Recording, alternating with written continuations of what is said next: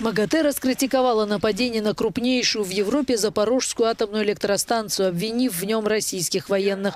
На пресс-конференции в Вене генеральный директор агентства Рафаэль Гросси подтвердил, что удар был нанесен по зданию учебного центра. Важно сказать, что все системы безопасности шести реакторов станции вообще не пострадали и не было никакого выброса радиоактивных веществ. В таких случаях необходим радиационный контроль.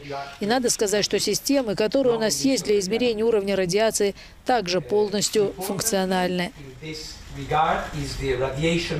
Гросси также сообщил, что МАГАТЭ запланировала физические инспекции атомных объектов на Украине, а пока там работает система удаленного мониторинга, функционирующая нормально. Глава агентства также сказал, что для обеспечения безопасности украинских атомных объектов МАГАТЭ предлагает личное посредничество для организации встречи между Россией и Украиной на площадке Чернобыльской АЭС.